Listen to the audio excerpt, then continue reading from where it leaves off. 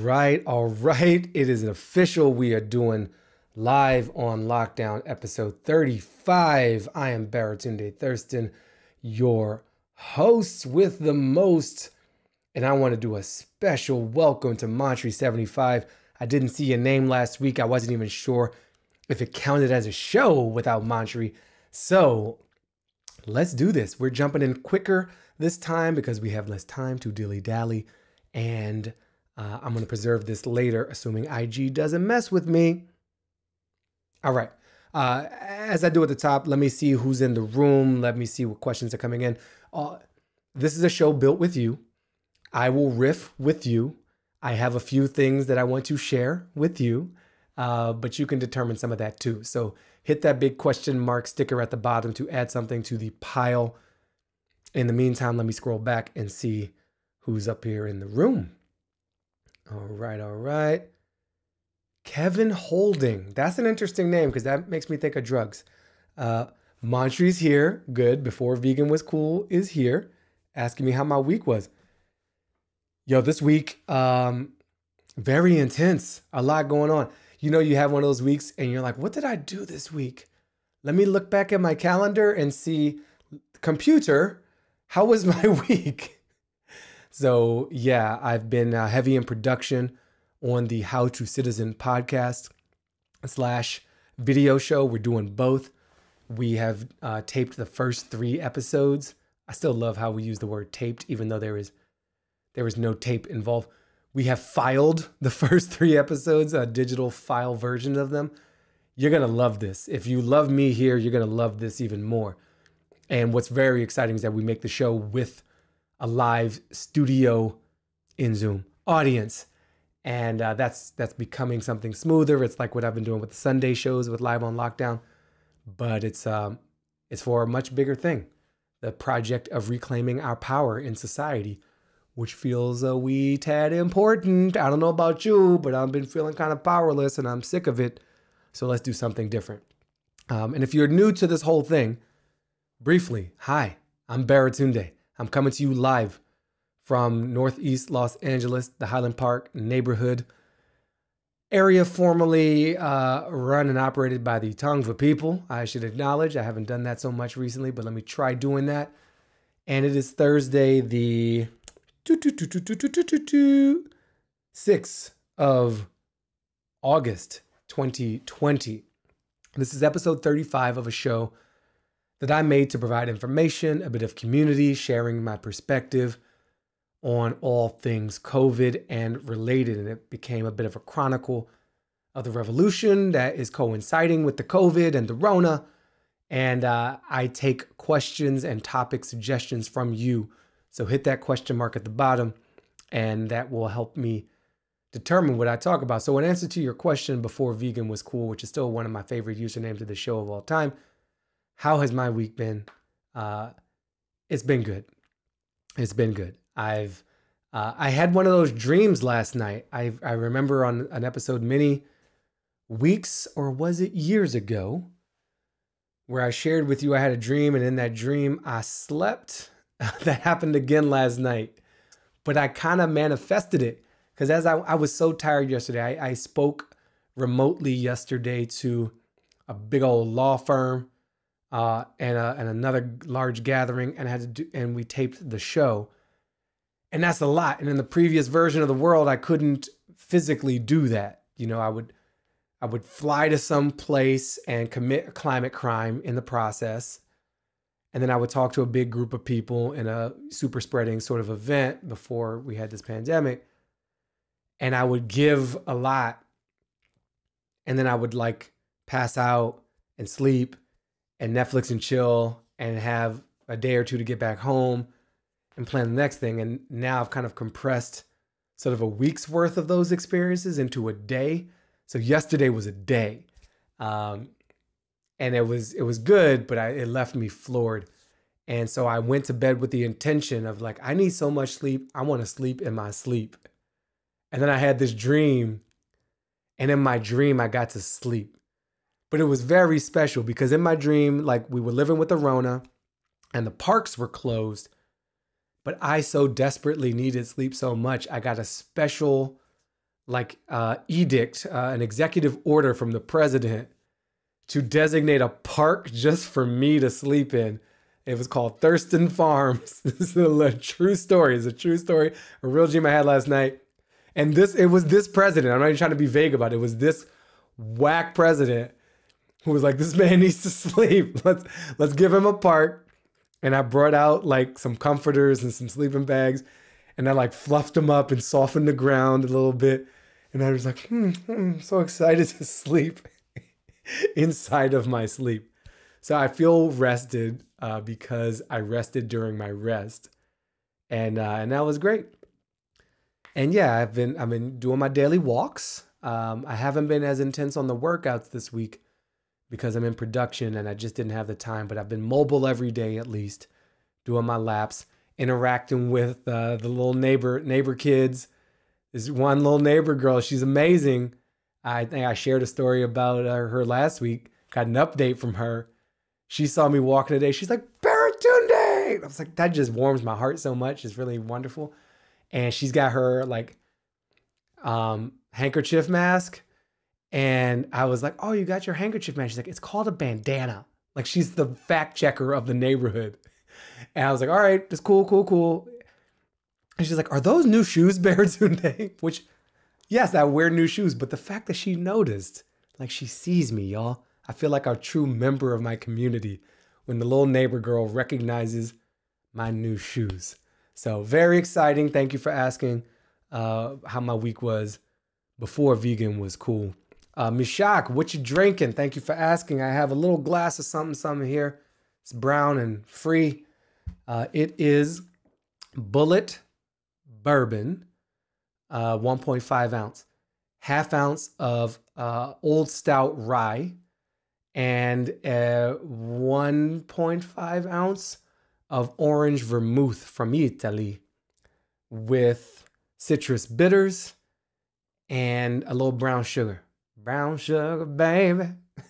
Um, and then I swirl it all around. Got three ice cubes up in there with orange peel. And despite my protestations on Paul Rieckhoff's Angry Americans podcast, I put a little slice orange in there. I did because the Rona, whatever. I break my own rules. I set rules, I break them, whatever. Give us free. So here we are and uh, Duchess Hell is here. Good to see you. Good to see you. Thank you for being with us. Jordan Cooper NYC. I know you. Hello. Uh, and the username of the night goes to. Boom shakalaka. Here comes the Chief Raka. I'm stalling. I'm stalling because I'm choosing the winner. Uh, let's see. Oh, you know what? Okay, I take flattery as a good way to enhance the vote. Mama Graves. Mama Graves. And honestly, I liked the name before I saw what you said, but I, in this case, I like the username that communicates a whole thing. And so, Mama Graves, that's just to me, like, I'll tell you what I hear with Mama Graves. I'm like, Mama Graves got a story. Mama Graves has raised some of these kids in this crazy world everybody on the block is like, yo, that's Mama Graves. Don't mess with her. Even a little girl on my block knows Mama Graves. Like, Mama Graves, you have new shoes? Mama Graves got wisdom. So uh, thank you, Mama Graves, for joining us tonight. And thank you for the compliment. Yes, I spoke to uh, the good people at Target yesterday. Target, my apologies uh, for that. So, all right, I am scrolling through, catching up on who's here. It's very good to see uh, all you got. A lot of got a lot of people from the Target. Great. Uh, so so for those who were there, and let me let me explain. For those who weren't there, it's actually more valuable. But you know, I used to do these talks in a physical space, and I would spend a lot of time on the slides. You know, I'm sorry, I'm back. I got a alert. I got an alert from the Hollywood Reporter that the president is forcing the sale of TikTok, and I just thought let me share that with you. Breaking news: Our crazy president is doing a crazy thing. But back to me uh, something a bit more stable than our commander in chief. Um, I, I've been used to going to places physically and having a stage and slideshows and choosing my fonts carefully. And now that we're in this Zoom universe, this Zoomiverse, I've just abandoned the slides and I just basically I've been doing live on lockdown for people who bring me to their schools and their organizations and their companies and just telling it the way I see it and trying to be as real as possible. And so for those of you showing up from Tarjay, you should know like I left it all on the field. Uh, if, if you joined from Deckard, same thing. Uh, and if you're interested in having me come and talk to your group of humans, hit up my website, baratunde.com. We can work something out. If you're a big old company with a lot of money, I'm going to take your money.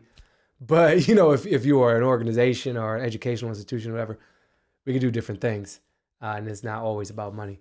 So thank you for, for sticking around, uh, following my instructions to find me on IG. Clearly you did that. And uh, yeah, it's, it's good to. And then we got some Jack and Jill people in the house. QK, I see you.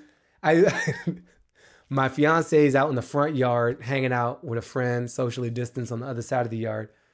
And uh, the friend was like, "Yo, so how was your day been like? How you doing?" I was like, "They let me talk to like 300 teenagers just now." so much love to my Jack and Jill people, uh, the black teenagers of the universe.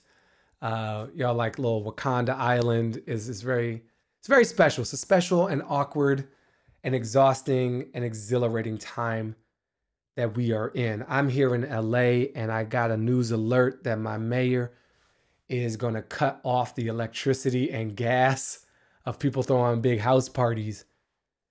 And I was like, is that is that legal? Like I want to fight the virus with the best of them and the rest of them, but even I was like, yo, civil liberties, yo, what about what about that? Like I'm not trying to start a rally with an AR-15 over it. But do we have better targets to pick than the house party people. And if you're throwing big, unfiltered house parties, like stop that. But cutting off people's electricity and gas, I know I have a sensitivity to it. There's a lot of people in this country who don't have means, and it's uh, forcing them into a more desperate, barbaric state to do that to them. But if I mean, I guess if you got a big old mansion and you're just throwing a wild and out party, you could probably you probably have a Jenny as well. You probably have a generator too, so maybe you're good. Um, Anyway, here we go. Uh, what I wanted to share with you is I got a COVID test today. Yes, I went to a city testing facility uh, because I ended up in what I thought was going to be a lunch at a friend's house who had a negative test and we had negative tests, but there was mad other people. And I was like, I feel like we might have been overexposed. Let me get this test on. And testing is a funny thing because, you know, there are, um, there's not very many false positives, but there's a lot of false negatives in the testing universe. And there's so many types of tests. And there's like tests that they take their sweet time getting your results back to you, like five, six, seven, eight, nine, ten days, which is not even useful. And then you got like the, the, the rapid testing, which is, you know, five minutes later, you know, which is limited to very wealthy, like millionaires and billionaires in the United States or the people of Senegal. Like, I still don't understand how we're such. We are a failed state, y'all. Like, real talk. We are not, we are not number one. We are number one at not being number one. That's what's up with America right now. Because so many other places have figured this out, and we are just like, what should we do? I guess we should maybe figure out some testing or get some masks or I don't know, or maybe just not do anything. Let's uh, throw a party, open up the bars. I don't know. Like, is it even real? We're having these stupid ass arguments. So I decided, let me go through the city. Let me, I'm paying these taxes. Let me go to uh, the lacity.org. And honestly, I, I uh, we have a, a text messaging group in our neighborhood we built on WhatsApp. So we have this Northeast LA texting group. And so I asked the group, like, where can we get these rapid tests? And folks like Dodger Stadium. And I was excited because I'd never been to Dodger Stadium. I I went one time sorta when I was in a Uber pool and I got dragged to Dodger Stadium because somebody was trying to go to like a concert or a game. And so I sort of saw the outskirts. And then I, but I've never gone to any kind of sporting event because I don't really mess with baseball. And I think that's what happens at Dodger Stadium. And that's a super slow, awkward sport that I'm not very excited about. So, long story long, I, uh, I signed up this morning and they had a testing slot and I drove over there because you know I have a car now. My fellow New Yorkers, I'm sorry I have sinned.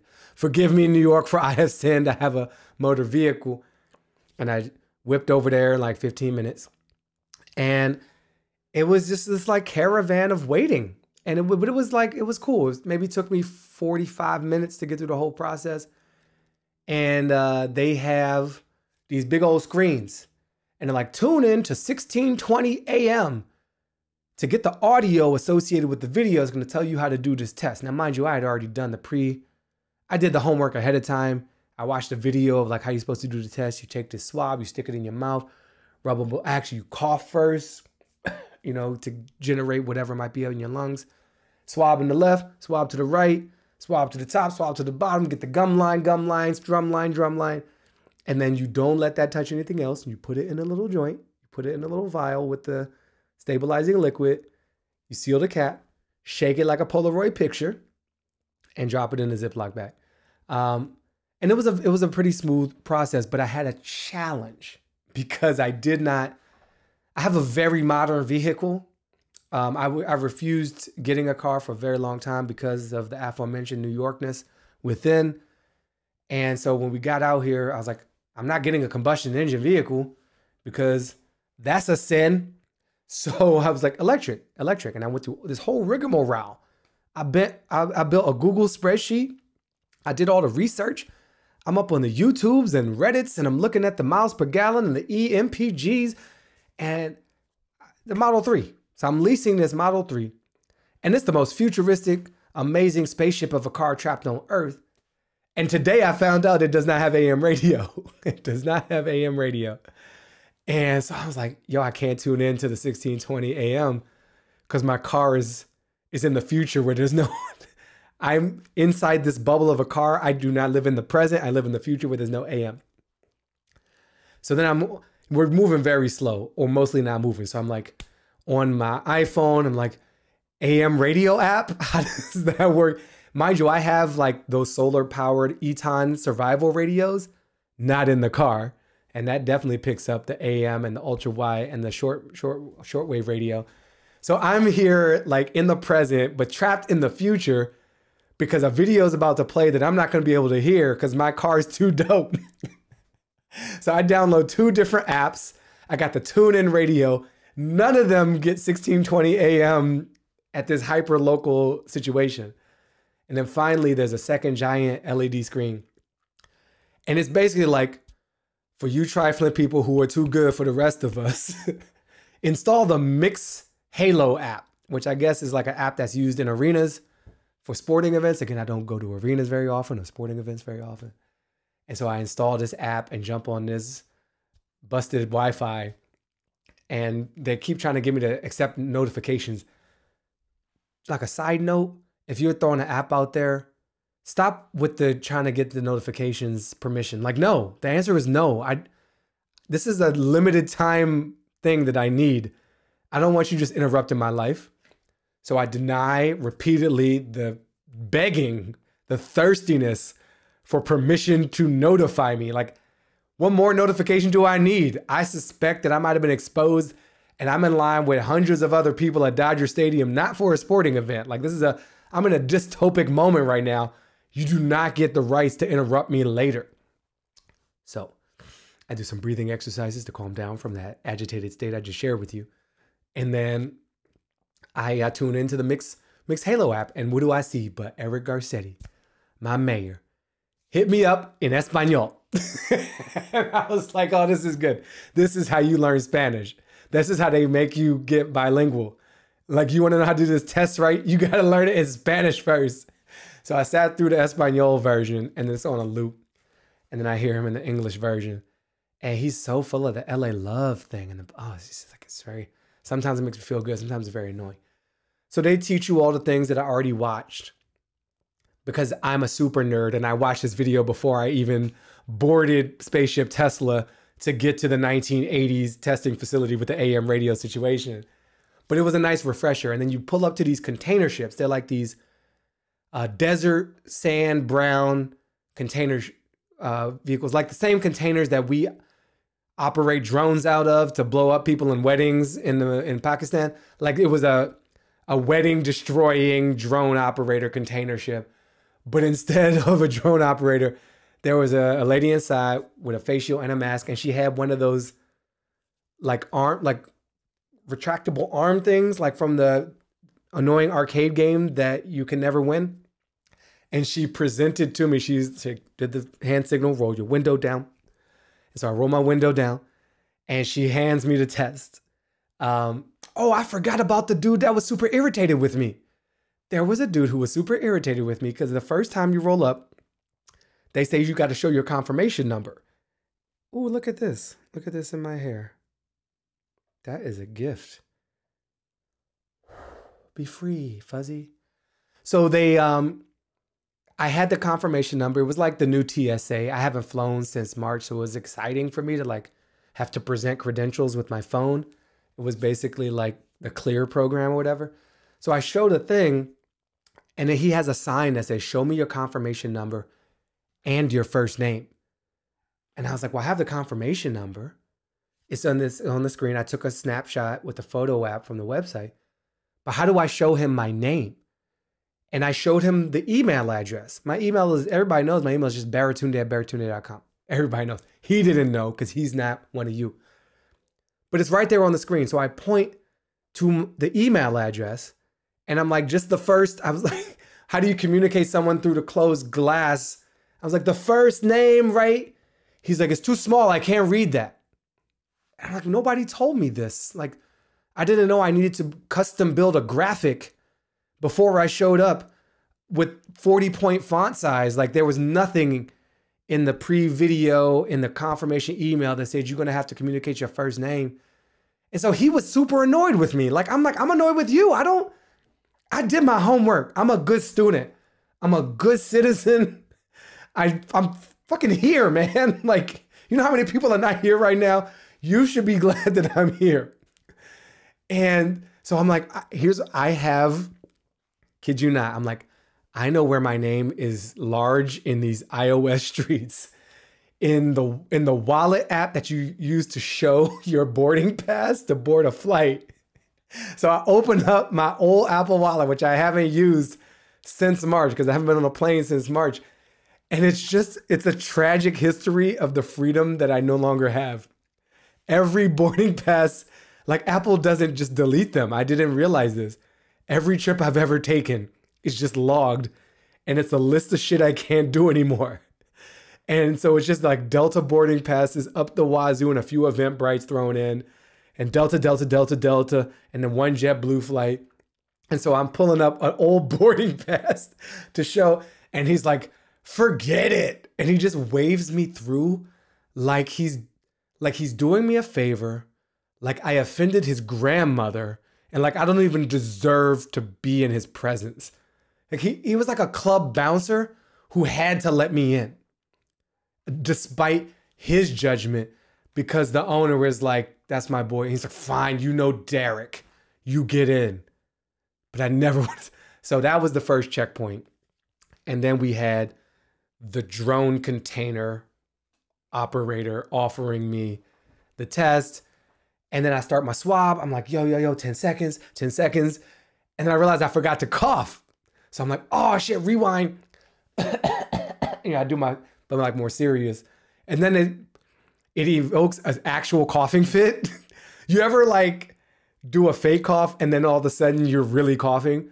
Like that was me. So I'm here I am, like locked in my car and I'm legit coughing up a storm to do a good COVID test. So whatever is in me, they got the good stuff because I was I was coughing up last week, you know. And then I put it in the vial and I squeeze it real tight and I shake it like a Polaroid picture and I drop it in a zip and I seal it. And then they they have you throw it unceremoniously in a blue garbage pail. And then I went about my merry way. So, how was your day?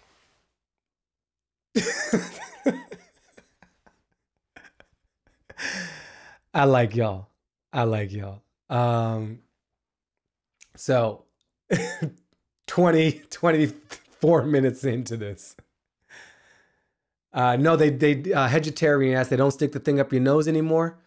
Uh, no, I have had uh, several tests now, and they were all the the nasal tests where they try to tickle your brain with a Q-tip. Um, and you know, I had been warned going into those tests that they were very invasive, that it would feel like a violation. And I don't know if I'm just like super strong and amazing, or everybody else is super weak, but that it just didn't bother me. Uh, this was not that. This was a a swab test in the mouth region, in your mouth hole. So we'll see. We'll see. My previous tests have been negative.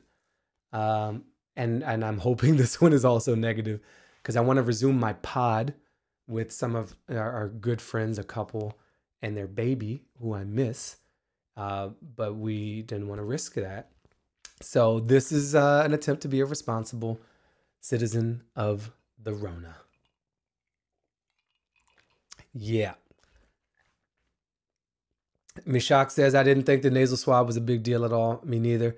It might depend on the operator too or just, you know, I also had a procedure a few years back because I had some situation with my um, nose, my nasal region. And so it might be easier because they had to. It's getting real personal on this episode. You don't need to know all that. Point being, uh, I can handle certain things now because of if I tell you more, I'll be violating the national security of Wakanda. So let's just move forward, shall we? Uh, I'm gonna check out some of Robin Cloud is here. Hello, Robin. Good to see you. Thank you for showing up. I like to give shout outs to people I know. Uh, because that just makes it fun. Miss up here selling chocolates like a Boy Scout. That's amazing. Uh, all right, going door to door like those kids in the New York City subway slanging chocolates for your basketball league, Mishak, for your basketball league. Okay. Okay. Um, I wanted to talk about the COVID test. Uh, I want to, I read an article this week in the New York Times uh, about Mumbai and a, a, slum in Mumbai called Dharavi, and, and, how this slum called Dharavi, where a Slumdog Millionaire was based, uh, suppressed the virus and that that was meaningful to me because well because I've been to that slum. I visited Dharavi many years back uh, as I went to India for a friend's wedding. And they did us the beautiful favor of showing us all sides of Bombay, Mumbai, from the high to the low and everything in between. And so I physically have a, a memory of, of this place very, very compact. Like you think New York is dense, and then you go to Dharavi, and it's like people on people on people. And in between that, there's more people. And so the idea of COVID in a space like that is terrifying. And yet, they have managed to uh, get this thing under control in Dharavi, in a massive slum in a still developing nation and here we are in these United States with 50 to 60,000 cases a day, with roughly a thousand people dying every day, deciding we just can't get our ish together. And I'm like, do I have to move to a slum in India for some sound public health policy?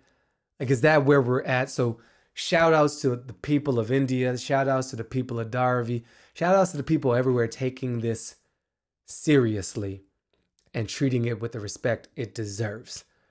That that irked me a little bit.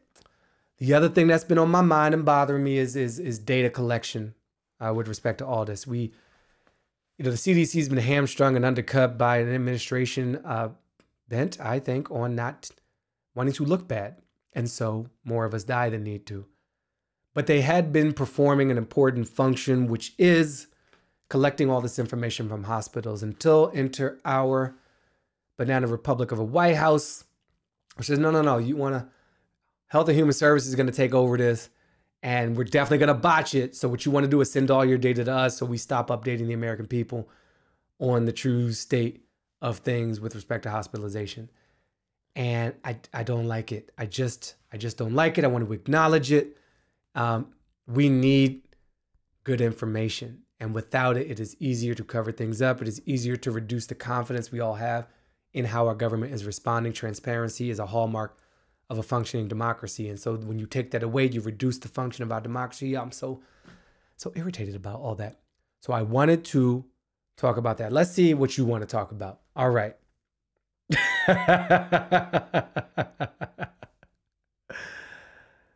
uh, okay. Before vegan was cool. Has dropped something in into the hat. That interview, you know the one. I suspected that some of you might want to know my opinion of what happened on HBO this week. I uh, I resented you for it in advance of knowing you might want it. And I hated myself for subjecting myself before I did. But I felt a perverse responsibility to to myself, to you, to experience this thing that happened this week on HBO. And I had seen some memes flying around, and I saw the face of Jonathan Swan, this Axios reporter, as he tried, tried to interview the President of the United States. And I made the mistake of listening to this and partially watching while I was in line for my COVID test today. And so part of my agitation during that test, part of my reflection might have been due to the fact that I was subjected to psyops, uh, to a level of psychological and emotional abuse by our commander in chief as I watched this person, I think, behave in a way that makes the little five year old neighbor girl look like she should be the commander in chief. She got more wits about her. She has more command of the language. She can follow a thought more directly. My little five year old neighbor girl who noticed my shoes were new than the president of the United States. I I had to stop it several times. I had to stop because I just couldn't I didn't I've never like what? It hurt. It hurt. And yet I felt like I gotta power through. I gotta, I gotta fin- you finish what you start, Baratunde. You you finish this. You eat all the food on your plate. I felt like it was Brussels sprouts that had been spoiled. That an irresponsible parent was forcing me to eat, me being the parent. And so I put that in my mouth and I chewed on this madness, this King Learness, this. Ah. so, our president, I say that so reluctantly, and lost his damn mind. And he is so. What I saw was a bully. What I saw was a little boy. What I saw was a broken child. What I saw was a temper tantrum. What I saw was someone so unwilling to face the reality of what he's in that he is clinging desperately to any version of truth that makes him look good. I saw someone who has presided over the deaths of over 150,000 of the people he is charged to protect, center himself rather than we the people. I saw somebody desperate to be validated in the midst of an interview focused on his actual duties to protect and serve and to defend us all against enemies, foreign and domestic, including a freaking global pandemic. This dude is arguing over the size of his super spreading crowd in Tulsa, Oklahoma. Arguing with the reporter. What the fuck does that have to do with anything? What are you? I can't with this dude. I am so done. I am so done with this. I'm just, this guy wants to deny everything that makes him look bad. He still thinks this is about how he looks. It's a vanity project for him. He's he he spent over a minute insisting and bragging about the record setting ratings he got on Fox. But then when he talked about the number of people who are dying every day, it is what it is, he says. Like some wannabe washed up gangster who just watched a Scorsese film. It is what it is. That doesn't make you fucking cool. It makes you a monster. Uh, every day that goes by that he occupies that office is a day that we face a clear and present danger to our republic and to our lives. Every day. Every day. Every day that goes by that Mitch McConnell doesn't do something about it is a day that he is complicit in the destruction of our country. Every day that goes by that the self identified Republican doesn't speak out against this the way they demand a Muslim speak out against some random act of terror is the day they stand against the country they swear they love so much. This is not a game. This is not a joke. This is not about media ratings and hits. People are dead now, y'all. And watching that thing that happened on Axios, which they put fully on YouTube uninterrupted. Thank you, HBO, for that public service so we could all see the madness that attempts to rule over us instead of representing us like a mad king. Freaking King Lear Targaryen. That's what I saw. Madness. It's disgusting.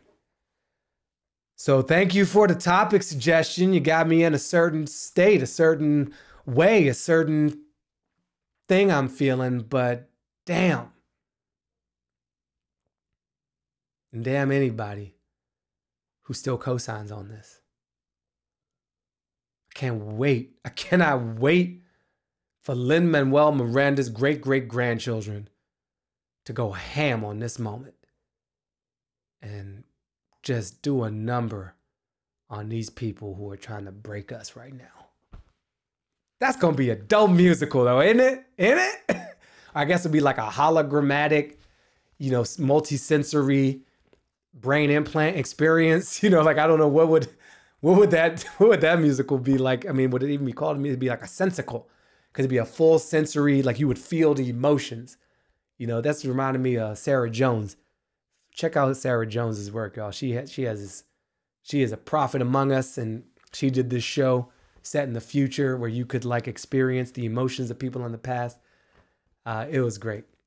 It was great. Find find out what she's doing right now. She's building some beautiful things. So, yeah, Dinah, Pugh. I did I did say that. I did say go ham on this moment. Let's check the bag. Let's see what else y'all have put in the bag. Um, oh, this is dope. I know this dude, Zeph McNamara. I'm gonna need your help though. Uh, IG uh, cuts off the questions. So Zeph has said, uh, longtime listener, first time Insta questioner, have you read the incredible opinion on qualified immunity that came out? Something, something, something. And so I uh, I say no, Zeph, I haven't. But I I uh, Zeph is a is a good good person, and so I'm going to try something very risky. Qualified immunity. I'm just going to throw it into the unbranded internet search box and uh, see if I can find out what you're talking about. One day ago, 17 hours ago, one day ago. Okay. A judge's blistering opinion shows why it must go. Washington Post, which I support, hometown newspaper for life, and I will pay for good journalism. But they got a weird ad that's covering up. Okay, so let's just share this uh, in real time. U.S. District Court Judge Carlton Reeves couldn't do justice for the plaintiff in his court who had sued over police abuse. The Supreme Court won't let him. So Reeves issued an opinion that dutifully followed the law and blistered the justices for the all but insurmountable barrier they have constructed to shield police officers from being held to account. Reeves, a Barack Obama nominee who sits in Jackson, Mississippi, and is the second black federal judge in the history of the state, produced one of the most powerful pieces of legal writing I have ever encountered. His opinion is a 72 page cri de coeur. Look at folks is dropping French up in the Washington Post. 72 page cri de coeur directed at the Supreme Court, arguing that it must do away with the doctrine of qualified immunity for law enforcement officials. Reeves begins with the larger context. Clarence Jamison wasn't jaywalking. Footnote, that was Michael Brown, shot by police in Ferguson, Missouri. He wasn't outside playing with a toy gun. Footnote, that was 12 year old Tamir Rice, shot in park by Cleveland police officer. He wasn't suspected of selling loose, untaxed cigarettes. Footnote, that was Eric Garner, the Staten Island man who died after an officer put him in a chokehold. And on and on for 19 excruciating footnotes. And lawyers in this world, yo, they be using footnotes like little daggers. You know, they drop mad dimes in the footnotes. And on and on for 19 excruciating footnotes George Floyd and Philando Castile, Sandra Bland, Breonna Taylor, until we get to Jamison's non offense. He didn't make an improper lane change. He didn't have a broken tail light. He wasn't driving over the speed limit. He wasn't driving under the speed limit. No. Clarence Jamison was a black man driving a Mercedes convertible. In 2013, in Pelahatchie, Mississippi, an hour south of Philadelphia, Mississippi, where Andrew Goodman, Michael Schwerner, and James Chaney were killed in 1964 because his temporary tag he had just purchased the car was allegedly folded over. Mm. As Reeves recounts, Jamison's fate was less dire than that of many others. As he made his way home to South Carolina from a vacation in Arizona, Jamison was pulled over and subjected to 110 minutes of an armed officer badgering him, pressuring him, lying to him, and then searching his car top to bottom for drugs. Nothing was found. Jamison isn't a drug courier, he's a welder. Jamison wasn't shot, he wasn't killed, but he was frightened and humiliated, and his car suffered several thousand dollars in damage to his seats and convertible top. And as Reeves found, his constitutional rights were violated. Officer Nick McClendon searched of Jamison's car violated the Fourth Amendment, and Jamison's supposed consent to the search could hardly be deemed voluntary. This is, I should do more reading Washington Post articles with gusto. I'm getting all fired up. So, uh, Thank you, Zeph, for bringing this to my attention, to bringing this to all of our attention, and good Judge Reeves trying to defend us all. Qualified immunity is this doctrine which allows cops to get away with murder because cops have gotten away with murder. It is this circular logic which says, well, you can't punish people because they haven't been punished before. That's a, a simplification, but that's essentially how it goes. And Zeph, you are actually a lawyer, so you please correct me in the footnotes of IG if you think I am erring from the facts in any significant way. And so there are many things that shield police officers from accountability for their actions. There are police unions. There's the blue wall of silence, that thin blue line. There is a lack of prosecutors' willingness to go after them because they need to cooperate with them to get their prosecutions. There is bad training. There's everything. But qualified immunity is one of those things that sits high atop the list from a judicial perspective which prevents folks from being held accountable.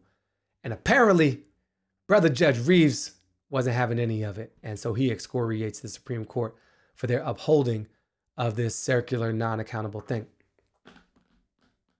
So, um, I want to link this. I want to I want to link this because I was I was I was watching some cable news earlier this week. Sometimes I drift from self care and I engage in self harm, which is watching cable news. And I was listening to people talk about this president and his relationship with the Deutsche Bank, huh?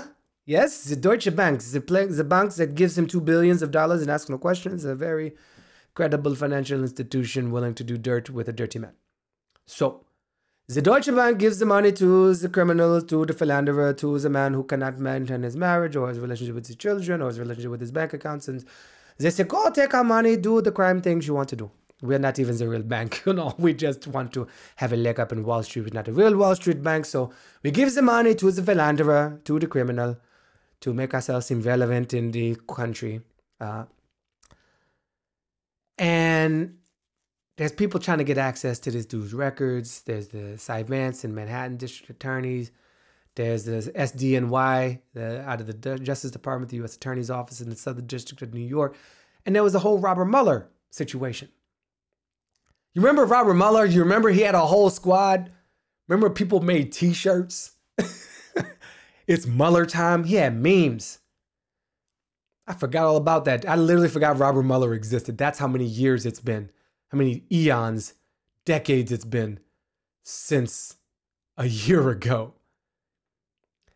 And on this cable news program, which was causing me no small amount of self harm to indulge and ingest, someone who was a part of this team or explaining this team's work said, Well, how come Mueller's team didn't look at all these crimes with the Deutsche Bank situation and the fraud and the insurance fraud and the tax fraud and the mad crimes, yo, mad crimes? How come they didn't look at that?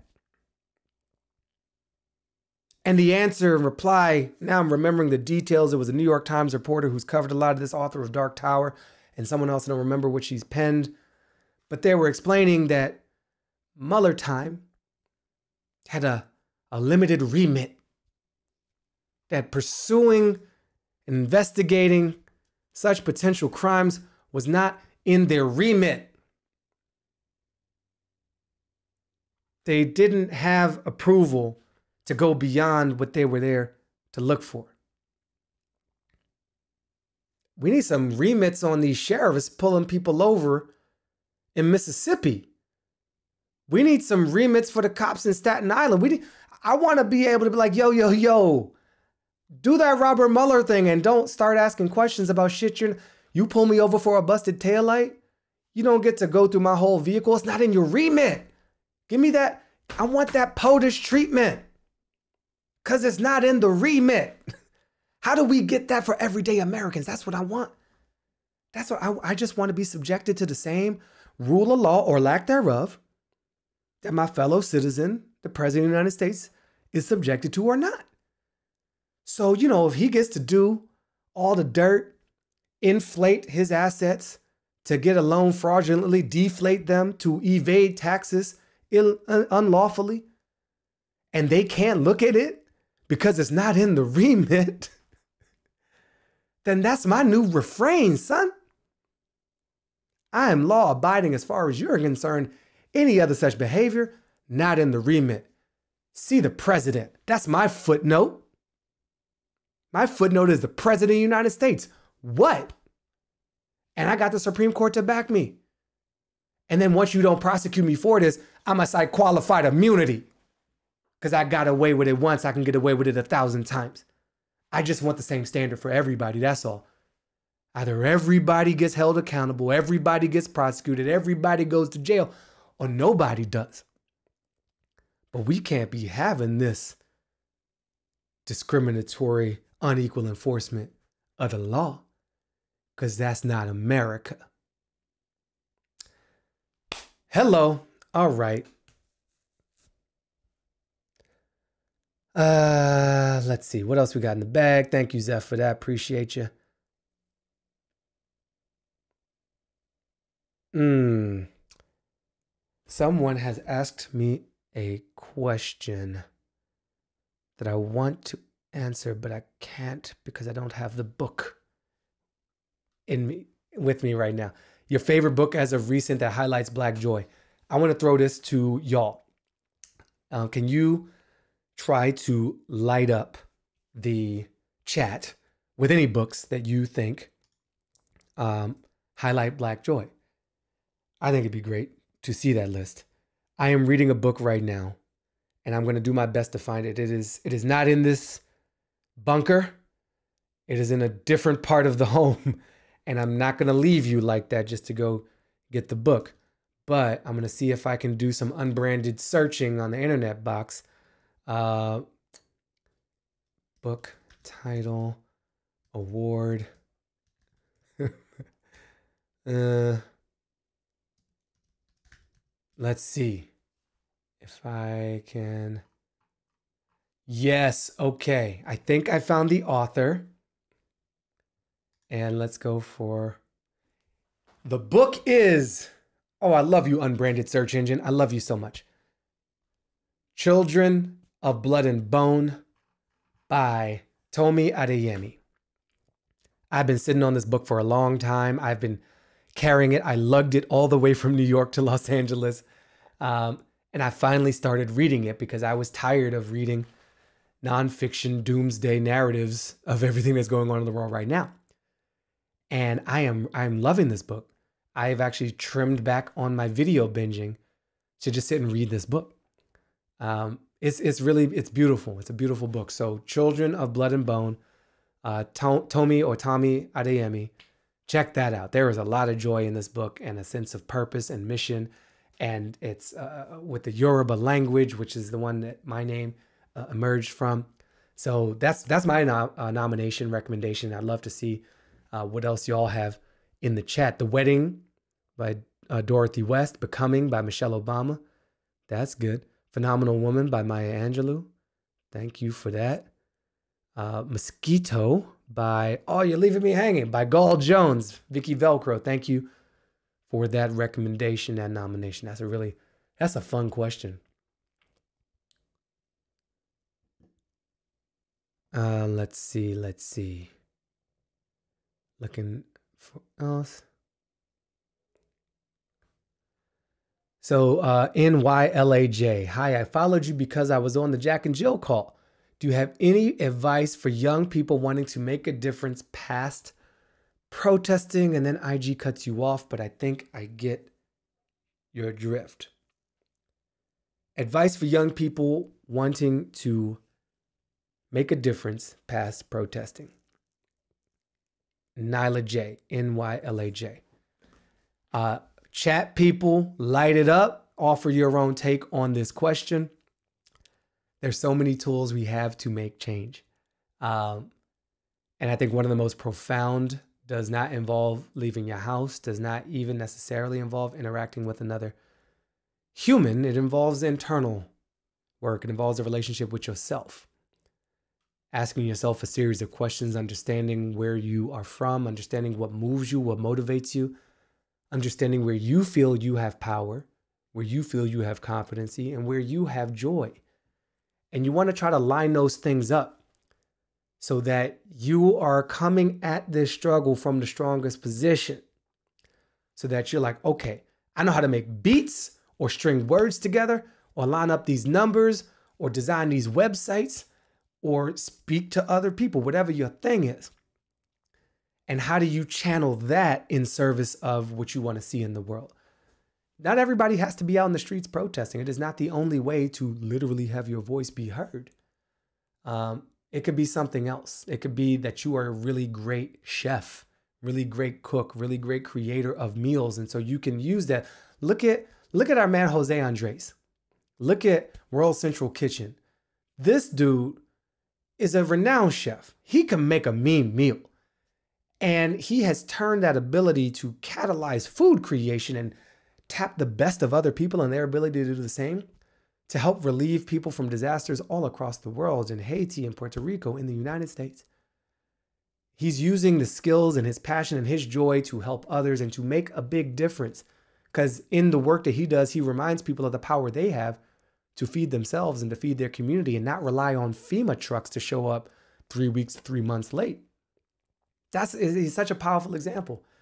And you don't see Jose Andres out in the streets protesting necessarily. That's, that's not his calling. That's not his core competency, you know, to borrow some language from the business world. So I say start inside. I say start by asking what you care about, what you love, what you think you're good at, knowing where you're from.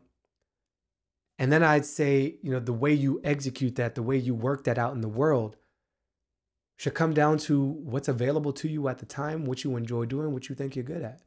And that is far beyond protesting because we need people who protest. We also need people who write. We need people who math. We need people who science. We're in a global pandemic. We need people who science.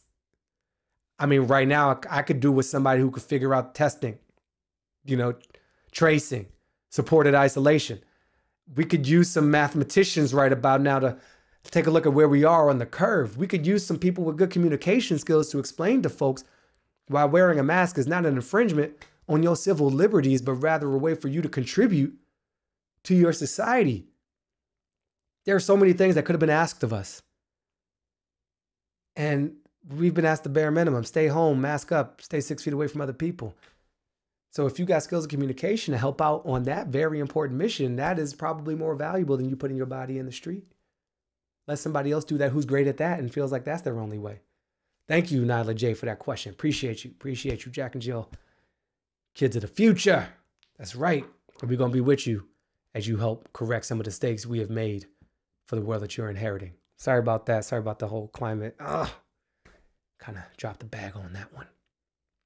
So, and I see these other comments. Let me uh, uh, pay homage to some of that. Jessica Carlson says, share your voice in person dialogue or via social media.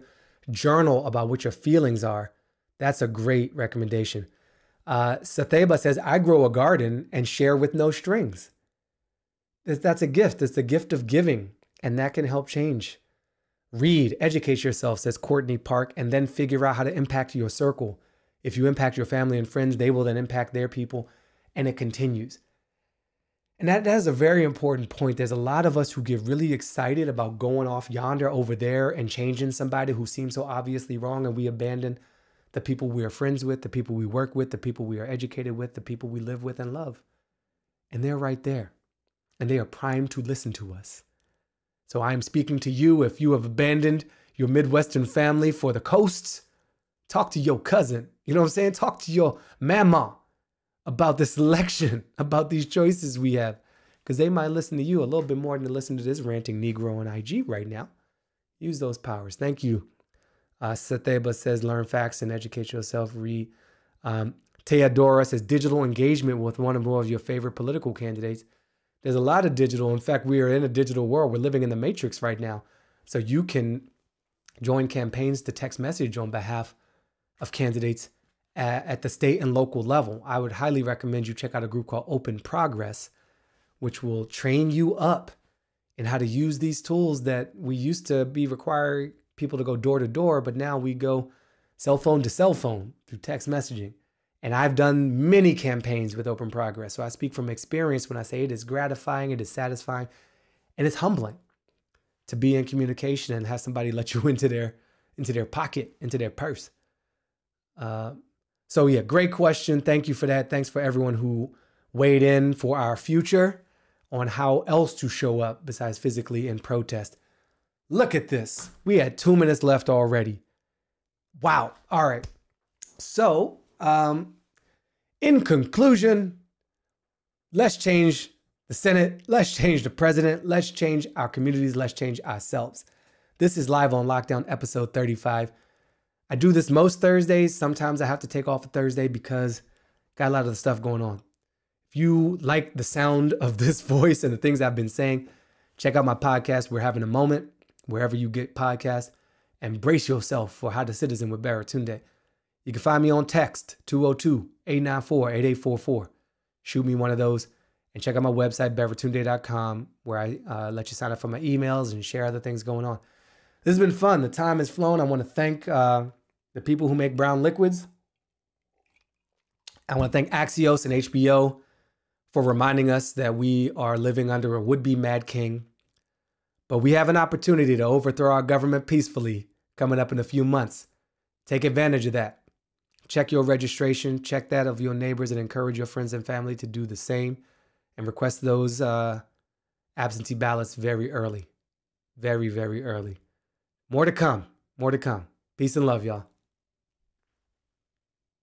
I lost the, button. Did they move the. There it is. I know how to operate the technology. I'm from the future, remember?